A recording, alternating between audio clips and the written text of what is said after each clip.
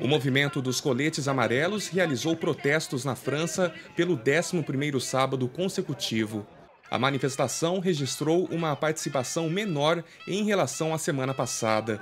Segundo o Ministério de Interior do país, em torno de 22 mil pessoas participaram dos protestos em toda a França, sendo aproximadamente 2.500 em Paris.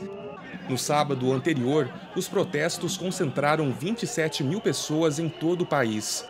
Na capital francesa, as forças de segurança utilizaram bombas de gás lacrimogênio para conter os atos na Praça da Bastilha. As manifestações dos coletes amarelos começaram no dia 17 de novembro do ano passado em protesto contra a alta dos combustíveis.